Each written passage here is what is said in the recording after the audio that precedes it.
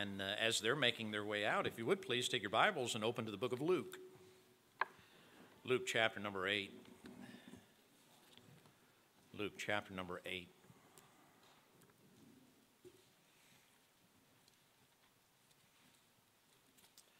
Luke chapter number 8.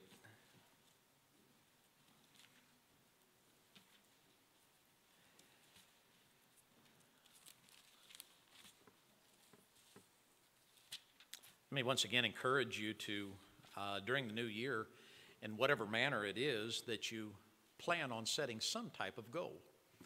Uh, whether it's whether it's something, but but something that you will do every day. The reason being is, is this: not so much that uh, you can get something accomplished. That's a that is a positive, and that would be a good end result.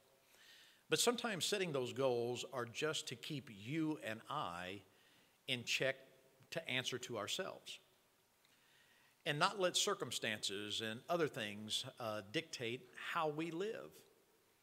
In other words, you, you and I need to make sure that we're in control of who we are and what we do, our appetites and things of that nature. So even if it's something that, you know what, Lord, every single day, the first thing that I do when I wake up, I'm going to, I, I'm going to read a verse. I'm going to say a prayer. And then every single day you do that. And then the day that you wake up and you start doing something outside of that, say, Lord, I'm sorry, I, I messed up. And then do it then. But in that instance, you and I need to make sure that we keep accountability to ourselves. You need to be telling yourself what to do, not just letting everything that happens around you dictate what takes place. So, in that instance, set a goal this year that you can fulfill. But set a goal that's simple enough that every single day you can do it. Whether it's, I'm going to take my, my vitamins every single day or whether it's, uh, eh, you know what would be interesting? And, and I, might, uh, I might ask Miss Kim if she would consider doing something along those lines to just on a three by five, if there are three simple exercises that you can do every day. It doesn't have to be anything to, I'm not talking about you know 15 cartwheels. I'm not talking like that. I'm saying you know uh, you know just whatever the case may be, whether it's a, a, whether it's a stretching, whether it's just moving, or whether it's a squat, or whatever the case may be. But something that you do every single day. Say, well, that's not easy. I know it's not easy. That's why you set the goal to do it. It's to accomplish something and tell yourself, I can do this. I, I know that sometimes we tell ourselves we can do things like going downstairs, and it changes things when that happens, right, Miss Carmen? And uh, but uh, you know, we tell ourselves, "Oh, I can do this," and the next thing it's like, "Oh, shouldn't have done that." I know there, there's things like that that happen. Now, me, I'm setting a goal to see how much I can eat this year, and so, but, uh, uh, but in that instance, whatever the case may be, just try to set a goal and then do it consistently. And like I said, you set a goal that's simple enough every single day, whether it's just, Lord, I'm going to pray for one missionary on the missions list every single day, and then do it. And uh, in that instance, that's something that you can do. That's something that's achievable. That's something that you can acquire. But you will accomplish things and you'll keep yourself in check. And, uh, and so, in that instance, it reminds us that uh, we need to make sure to, to set those goals. But Luke chapter number 8, we're going to read verses 5 through 15 this morning. It uh, sounds like a number of verses, a familiar passage, but the truth is there's something here that I think we need to take note of. As the new year comes upon us, that means that there's going to be some things that we are doing. And in the process of doing them, we need to make sure that we accomplish the goal that is set before us in the fact of making a positive impact not only on our lives, but on our community and our world. And as simple as it sounds, one person can make a big difference. Jesus, when uh, in the scripture he reminds us, uh, it says, I sought for a man among them that would make up the hedge and stand in the gap. God says, I'm looking for one. So in that instance, you said he, he wasn't looking for thousands, he was looking for one. And in that instance, you can be the one that the Lord is looking for if you would make yourselves available. And so, in that instance, we see here that there is something that is being done that I think all of us, whether we realize it or not, are participating in. And it's, and it's, uh, it's basically let out a little bit here in these verses, and we want to look at that this morning. So, if you found Luke chapter number 8, we read these verses responsively. Could we stand for the reading of God's word? I'll read the first verse if you'll join me on the next, and we'll read down through verse number 15 this morning. Luke chapter number 8, beginning at verse number 5, the Bible says, a sower went out to sow his seed, And as he sowed, some fell by the wayside, and it was trodden down, and the fowls of the air devoured it. And some fell upon a rock, and as soon as it was sprung up, it withered away because it lacked moisture. And some fell among thorns, and the thorns sprang up with it and choked it. And other fell on good ground and sprang up and bare fruit an hundredfold. And when he had said these things, he cried, He that hath ears to hear, let him hear. And his disciples asked him, saying, What might this parable be? And he said, Unto you it is given to know the mysteries of the kingdom of God, but to others in parables, that seeing they might not see, and hearing they might not understand. Now the parable is this the seed is the word of God. Those by the wayside are they that hear, then cometh the devil and taketh away the word out of their hearts, lest they should believe and be saved. They on the rock are they which, when they hear, receive the word with joy, and these have no root, which for a while believe, and in time of temptation fall away. And that which fall among thorns are they which, when they have heard, go forth and are choked with cares and riches and pleasures of this life, and bring no fruit to perfection. But that on a good ground are they which, in an honest and good heart, having heard the word, keep it and bring forth fruit with patience. I want you to notice, if you would please, the beginning of the entire thing starts in verse number five, where it says, A sower went out to sow his seed. Seeing that's the case, we see here that the man had determined that he's going to try to have a harvest of some sort. Whether that is the purpose behind everything, we can't dictate, nor can, can we know exactly where the seed's going to fall. Scripture tells us. But there's one thing that we're still required to do a sower went out to sow. So I want to talk to you this morning about the seeds. The seeds. Father, I do ask that you'd please help us this morning to see the importance and the impact that we can make on our world. And I ask that you'd please just bless today. Thank you again for all that you do, and we ask now for your help in Christ's name. Amen. You may be seated. The very first verse gives us the intent of what the entire passage is, is speaking about. You see, a, a sower went out to sow. I like the way that it's stated. It just didn't say a random individual. This is somebody, a sower. That meant that he had a purpose in mind.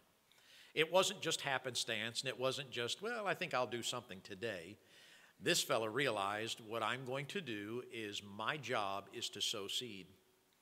I, I can't dictate where all the seed are going to fall. Now, today, of course, in uh, our farming practice, practices, uh, the fellows, when they get out into the field, they begin to prepare the ground and, and plan on where it's going to go, and they pretty much can dictate where everything uh, is planted and how everything is placed and how everything is going to. But when it all boils down, there is still a little bit of all I can do is do my part, I have to leave the rest to God. I can't, I can't make the seed germinate. I can't make the seed produce. I can't make those things happen. I've got to leave that up to God. And so, in that instance, we begin to try to, the fellows, they, they work hard on pr- preparing the ground. They work hard on making sure they have good seed. They make sure that they, but in that instance, there is still an element where God has to be involved with all of it. The truth is, the Bible reminds us that God provides and he, it rains on the just and the unjust. So, whether a man goes out and he plants the seed and uh, says, Lord, I ask that you'd please help this to grow and help it to be uh, productive, and I ask that you'd please help the prices to be set where it's going to be uh, a productive harvest, and it doesn't matter whether he goes out and he's cursing and swearing the whole thing when he plants, chances are it's still going to grow. That is a lesson that all of us need to understand is this we are sowing every day. Everyone is sowing something every single day. Whether you know it or not, there is a, uh, a law of sowing and reaping. As I've stated before, it's just as real as a law of gravity. It's not going to change. A lot of folks uh, call it, uh, well, it's karma. Or what, well, not miss karma. It's, uh, you know, it's what goes around comes around. Keep this in mind. This, is, this has been uh, uh, an element that God has put into practice ever since the dawn of creation. What you sow, you're going to reap. And in that instance, he reminds us that therefore you must consider that every single day you are sowing whether you believe it or not. That means that you must be careful on a regular basis how you are dealing with your daily life. Because what you sow, you're going to reap. It's the law of the harvest. It, it's just, it, it is just as real as, as I said, the law of gravity. Now, you can try to defy it. You can say you don't believe it, but it doesn't matter whether you believe it or not. You jump off this building, it's not the fall that's the problem, it's that sudden stop at the end that's the difficulty. It's going to happen. And what you sow in a day's time is going to come back in some manner. Oftentimes it does not, and here's, here's the law what you sow, you will reap. There it is. And Bible, even Scripture tells us that, but we know that. You see, what we do is we, we sow a bunch of, of sorry seeds and then we, play for, we, we pray for a, a, a, a harvest failure. Lord, please don't let that come back and get me. Well, maybe you should have thought about that before you planted it. Maybe you should have thought about that before you said it. Maybe you should have thought about those things beforehand, which brings to light this very thing. Since we realize that we're a sower and every single day we're sowing, that means that we have some responsibility. If what we want to come back to us, we want to be in a positive nature. You see, Haggai reminds us of this. Haggai chapter number 2 and verse number 19. I just, just read the entire ch- the, the book just the other day uh, in that instance. I read it very, very fast. Well, I didn't read it, it was read to me. I was listening. But uh, it reminds us is the seed yet in the barn? Sometimes we don't want to sow good seed. We don't want to sow the things that we should, and we want to just leave it in the barn, but it's not accomplishing that task. That means if, if we leave the good seed in the barn, then that means that what we are sowing is something that's going to be of a negative nature. So that means that you and I need to make sure that every single day we think a little bit about what we're going to put our hand to the task, what we're going to do, how we react this morning. And uh, uh, sorry about the personal illustration, but it was just a reminder even this morning. Uh, on Sunday, I usually have a routine that I go through. And uh, in the process of that routine, I recognized that something that I had purchased was not what I had purchased. Not that it, there was anything wrong with it, it just wasn't what I purchased. My immediate reaction was, I'm going to call. And then I stopped for a second. I thought, you know what? Maybe that person's having a bad day. Maybe this is this could be the last straw if I call and complain. And so instead of that, I said, Lord, today I did not get what I wanted.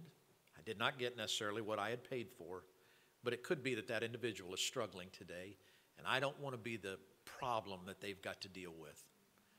I'd rather be the solution. So, Lord, I don't know who they are. I have no idea what their name is. But God, whatever circumstances that they're facing or whatever it is that they need today, if it, even if it's just distraction, God, help them to focus. Help them to be the person that they should be. Help me to have an opportunity to be a positive influence for them in some manner. See, I had a choice. I could call and complain, say, I paid for something and didn't get it. And they'd say, Well, come back in, we'll make sure to take care of it. And then they would turn to the person, possibly, that said, You know, this is what happened. This is the last straw. You've been causing difficulties for the. I didn't want to be that individual. I had a choice. And so instead of taking the complaint to them, I took a petition to God. Now, I, not, not to say that uh, I, I am any citadel of spirituality, but sometimes you have to make a decision on what you're going to do. In that case, I wanted to make sure that there's going to be a positive. Guess what? I need a little bit of a break sometime too. I'm going to do something that I didn't intend. I'm going to do something because I was distracted. I'm going to do something at some point, and I need that grace to come back to me in some manner. And so, in that instance, what you sow, you're going to reap. The, the parameters for sowing is this you sow, you will reap. Reaping will be more than planted. Reaping will be more than planted. I guarantee it. Every single farmer that's in here, you don't you don't plant one. When you go out to the field and you put your crops in the ground, you don't expect. Well, did all that effort. I put in one, one seed of corn. I hope I get one seed back. No, they, they want an ear full of seeds, full of corn. So, in that instance, reaping will be more than planted. So, that means in your daily life, what you plant, what you sow, is going to come back in a larger degree than what you planted it. So, what you're planting should make a difference. And then, lastly, of course, reaping comes later than sowing. You can use that for the positive or you can use it for the negative. In that instance, I'm encouraging you for the positive. We've read through the verses here, but let me show you something, if I may, a familiar passage. But take your Bible and turn over to 2 Corinthians chapter number 9. 2 Corinthians chapter number 9. Luke reminds us that a sower went out to sow. The purpose that he had in mind was he is going to sow seed. He is going to sow so that he can get the, the reaping, so that the crop will come. He knows that it won't come immediately, but he knows I've got to sow today so that tomorrow I can have hope of something to come. And in that instance, that means that you are sowing today in hopes of something that will come. Look, every single parent that's in here, you begin to invest in your children. You begin to invest in the positive things. The negative comes natural. That's little sin nature that we're all born with. But the truth is, anything of a positive nature, you must teach. And you must uh, consistently do what is necessary so that they'll have those positive qualities. I, I know it's cute the first time they look at you and say, no, because they've heard that a lot because you go, oh, no, no, no, no, no.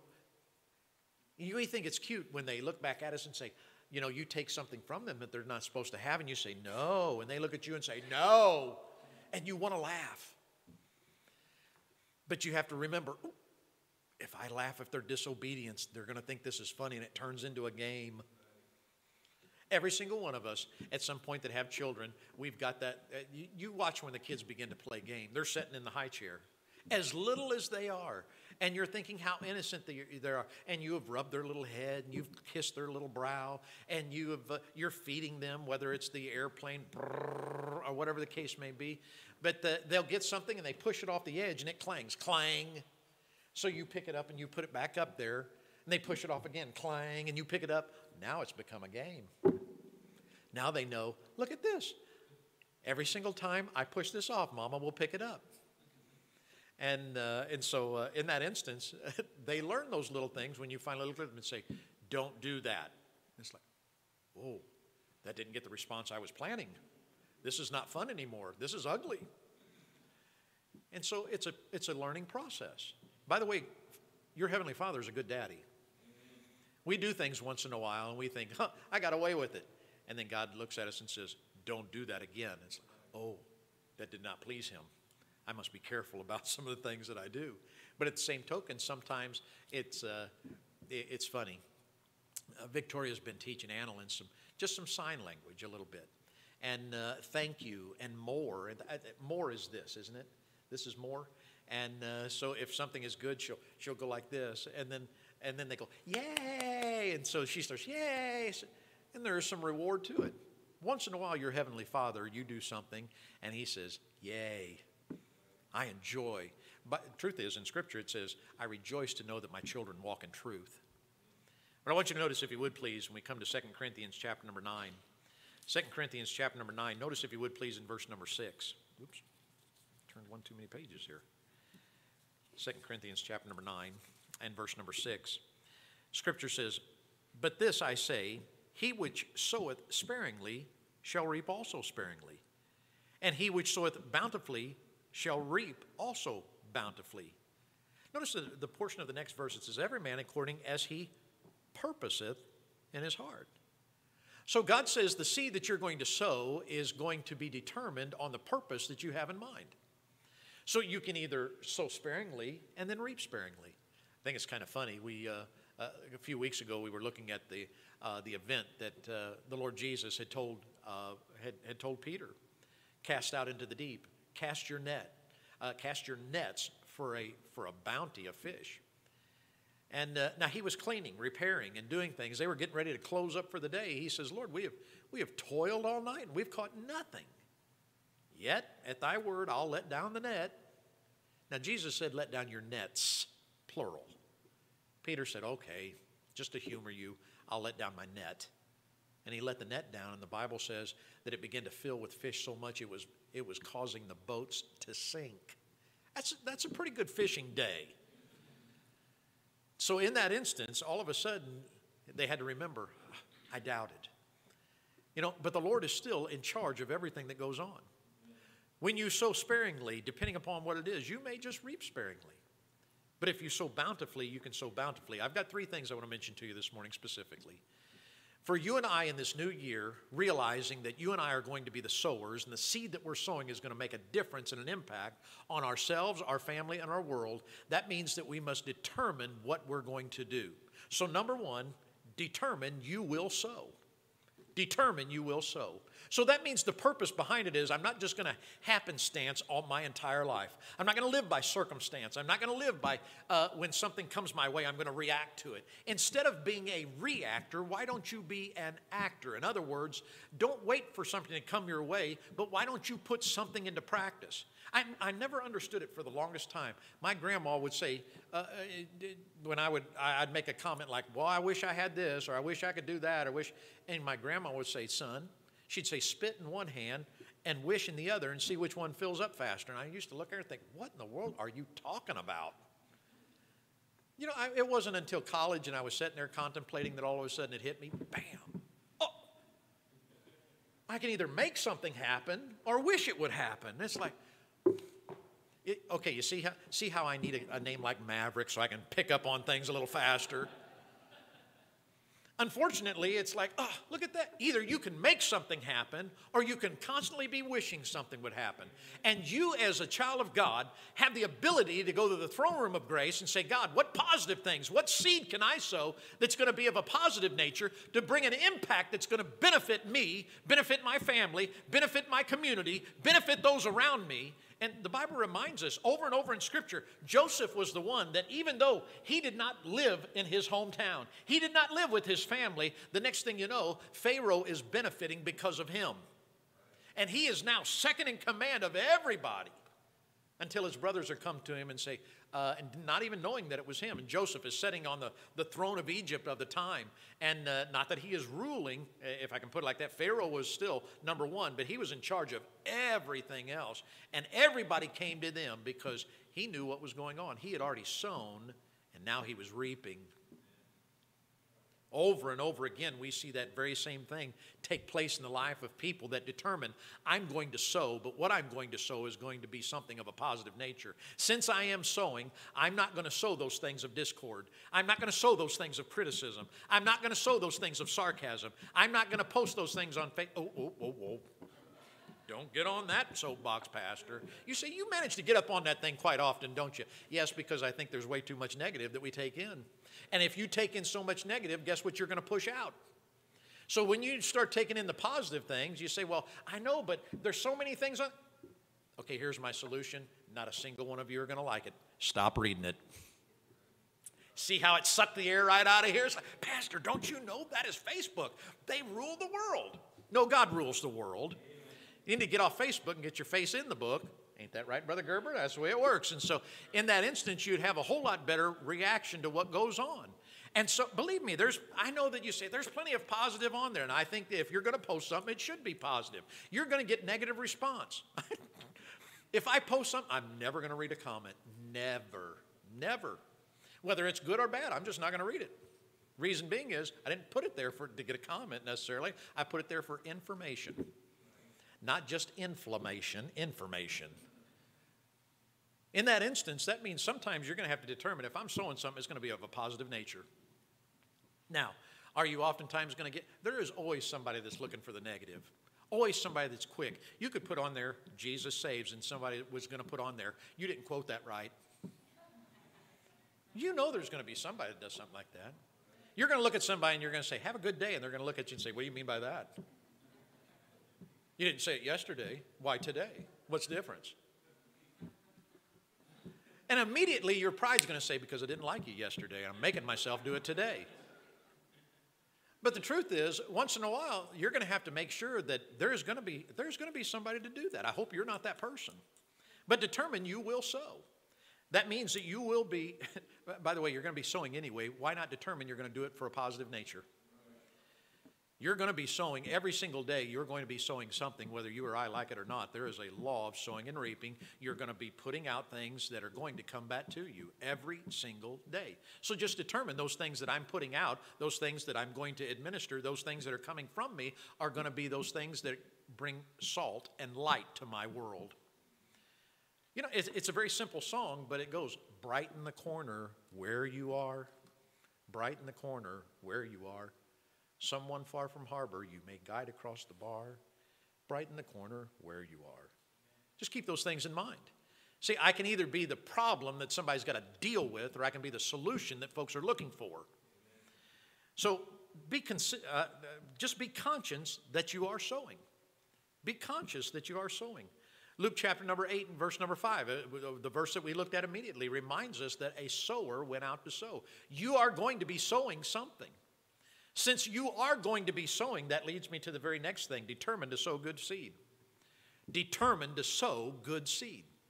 Scripture reminds us that since that sower went out to sow, uh, then that means some is going to fall on ground. You're not going to be able to do. Uh, uh, let, me. You're not going to be able to determine how folks react to your positive nature. You're not going to be able to uh, uh, understand completely everything that comes back at you sometimes. But it doesn't mean you have to act negatively to overcome those things. You just continue. I jotted it like this: Be the solution. Stop with the. It, look, if we'll come to a point where we uh, just stop the excuses of this, I can't fix everything. Well, no kidding. We know you can't fix everything, but I know who can. So if you determine the reason why I'm sowing, the reason why I'm trying to be positive, the reason why I'm sowing good seed is because I'm trying to take He who can solve every single problem, He who can deal with everything that needs to be done, and interjecting Him into every portion of my life and whatsoever it can be done. It doesn't matter what it is. Just stop with the excuse. I can't fix it. Okay, nobody, nobody put it in Scripture that you're to solve every single problem, but you can pray about everything. You can do uh, you can do what you can to try to be a positive influence in that manner. This new year needs to be this. There's been enough negative in the previous year to, to serve us a good couple lifetimes. But in that instance, that means that this year needs to be the year that you put it on a positive note and be the solution instead of a portion of the problem. Yes, we all know there's difficulties here. Yes, we all know the difficulties that come in, uh, in, in, government and politics and things of that nature. We all know about those things. We all have a, a, a, a percentage of our life that we don't trust what they say and what they do. But in that instance, you can still trust what God says, and He says you need to be a sower that's going to be sowing good seed. Take your Bible, if you would, please, and turn back a few pages to Matthew. Matthew chapter number 13, just for a moment. Matthew chapter number 13, the first book in the New Testament. Matthew chapter number 13. And look, if you would, please, in verse number 27. Matthew chapter number 13 and verse number 27. The Bible reminds us of this. He says, So the servant of the householder came and said unto him, Sir, this not thou sow good seed in thy field? From whence then hath it tares? So the question comes there is the question that can be what am I going to sow? Am I going to sow good seed? Am I going to be the solution? Somebody said one time, Look, you are an American, not an Americant. You can do what needs to be done. So, in that instance, determined to sow good seed. That means I'm going to be positive in every single aspect that I can. I'm going to try to do what I can to be the person that's going to be the solution, not the problem. I want folks to look forward to me showing up, not say, oh no, they're here. And so, in that instance, just determined to sow good seed because you have the opportunity, you have the ability, it's in your decisive determination and nature to choose which one you're going to. I'll tell you right now, the first thing you want to do is run to criticism because it's way too easy. And we and we and, and, instead of vilifying those things uh, that we should not, we oftentimes embrace it and say, "Oh boy, it's so easy because it it services our pride." I'll teach them a lesson. Well, how about we let Jesus teach the lesson, and we try to be positive? You say, "I know, but we live in such a negative world." I know. Be the solution. It's not always easy. You say, well, sometimes it costs. I know it does. Look, there are people in this congregation right here have been punished for doing right. Guess what? It'll happen again, too. I'm sorry for it, but it's the nature. The only way that you overcome evil is you overcome it with good. You continue to do right. But that leads me to the very last thing. Number one, I said, determine you will sow. Number two, determine to sow good seed. And then lastly, number three, sow enough to overcome. Sow enough to overcome. Let me give you some ideas here, if I may. Pray for instead of criticize. Pray for instead of criticize. Believe me, it's easy to go to that critical nature. It is very easy. And sometimes when you're quick witted, it's easy to come up with a sarcastic uh, rebuttal or response. But sometimes it takes a little more effort to be somebody, uh, just the other day, they may say to you, Boy, you're, you're a sorry individual. Say, you know what? You're not the only one that said that. You don't have to take it and say, No, I'm not. Just agree and say, You know what? You're probably right for the first time in your life. But, uh, you know, see how easy it is? But the truth is, pray for instead of criticize. Pray for instead of criticize. You say, Lord, you know what I'm made out of, and I sure am not made of much, but I sure want to be a help and a blessing to those that are around me, even whether they deserve it or not. Because the truth is, none of us deserve a great deal. But God has extended grace to us instead. Pray for instead of criticize. Next, be a friend to somebody new. This year, just determine I'm going to be a friend to somebody new. Now, I, have I've got friends, but I'm going to find somebody and I'm going to be a friend to them this year. Just determine that you will be a friend to somebody this year, some new person this year, and you are a friend to them. That means that you find out when their birthday is and you send them a, card or a note and let them know, hey, I was thinking about you. Just be a friend to someone new this year. Find who it is. You know, let me tell you this. You know, the saddest thing when I was in college is the, the girls that were the sharpest and the prettiest and the most put together, nobody asked on a date. You want to know why? They were scared of them. I was just stupid enough to not care. If you don't, if you don't think for a second, you know I married up. I know I have. When I saw her singing in chapel that one day, and I thought, I don't know who that is, but I'm going to find out.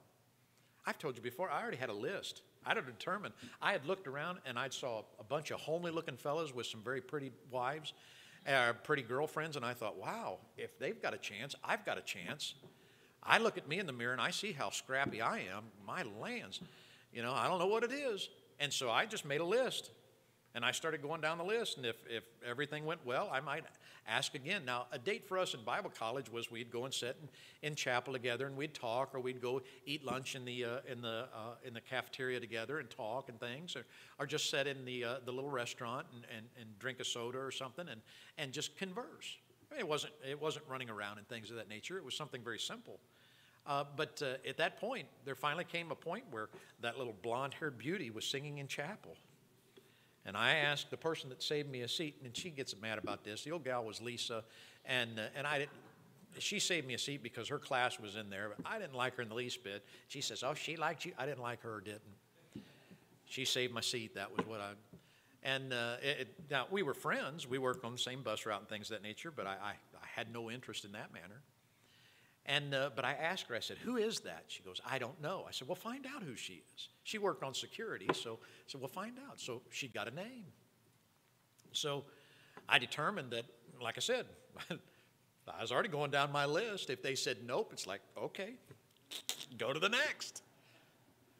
You say, well, didn't it hurt your self esteem? I was too stupid to know I needed self esteem. I just didn't care. But the one day I was, uh, I, I, found out what her name was, and that day I happened to be wearing one of the nicer suits that I had. And I said, "Well, I better ask her today, or I may not, uh, I may not look this good tomorrow." And so uh, I, I went up to the uh, the information desk. It wasn't a lot of information there, but it was a desk anyway. Uh, but the, the gal that worked behind it happened to work on my bus route, and uh, and I asked her. She worked on security, and I said, Miss Vicki, I said, would you call up and find out if if Marlene Lomax is in her room? And she goes, Well, what am I supposed to say? I said, well, You're on security. I don't care. Ask her if she's got a car on campus. Oh, okay. So she calls up there. And uh, she says, No, she doesn't have a car on campus. I said, Okay. I just needed to know that she was there. And uh, I said, Ask her if she'd be willing to meet somebody down at the post office at, it was either, you know, 1.30, 2 o'clock, something like that, because I was going to have to go to work uh, in just a little bit. And so she goes, Okay. So she calls up there and, and asks her if she'd be willing to meet somebody down in the hallway there at the post office uh, at such and such a time. So uh, I, I, was happened to be walking with one of the young men that worked on my bus route at the time, and uh, Andre. So we walked, and I was waiting to see if if she came down because if she didn't come down there, eh, sorry about it. But the Lord was in it, and He had her come down and, and sit there on the, the little bench across from the post office. But she came down with her roommate. And all these things are transpiring, and somebody calls and asks, Would you come down and, and meet somebody at the post office? Would you do all these things?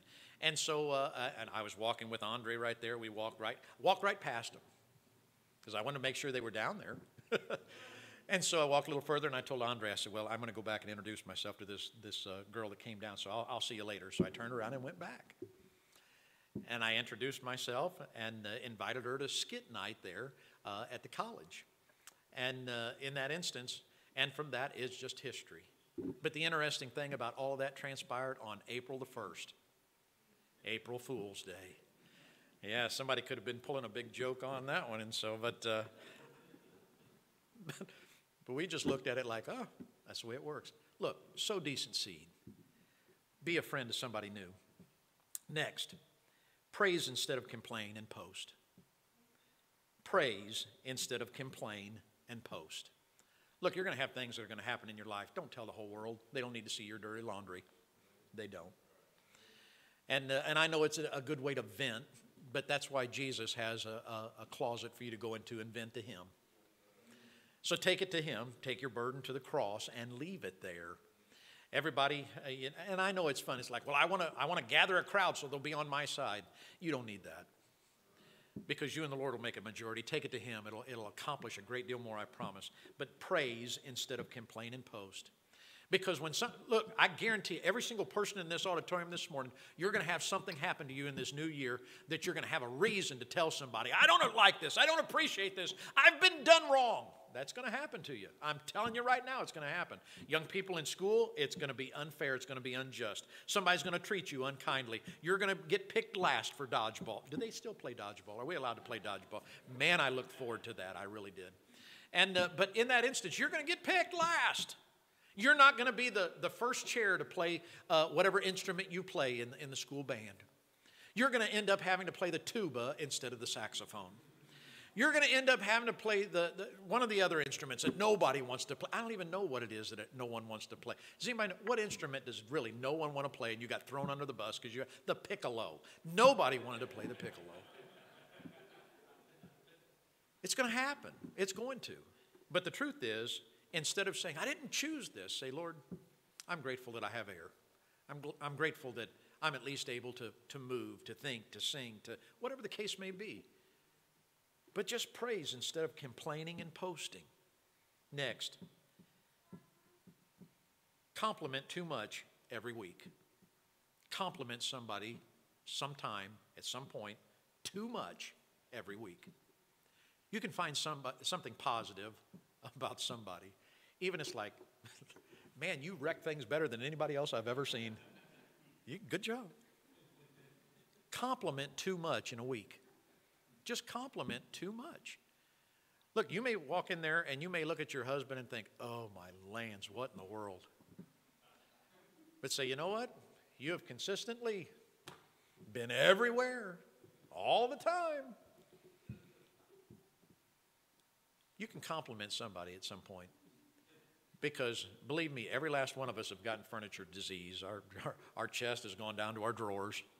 You know, we, we know that, that it just happens the hair begins to thin and what don't turn gray turns loose. We know some of those things. We're not everything we used to be. But the truth is, you can say, you know what? Man, he goes to work. Man, he, whatever the case may be, you can compliment in some manner. I know it won't be easy, but I'm talking about sowing good seed. I'm talking about sowing the things that are going to be a positive. You want those things to come back to you. Have you ever wondered why there may be a deficit now? What have you been sowing?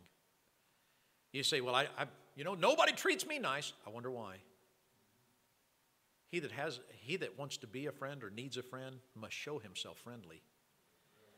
Compliment too much every single week. And then here's one that all of us need to practice probably a little bit more, and this one's difficult for me. Use the expression, I love you that's one of them that I didn't grow up hearing a great deal, although I knew it.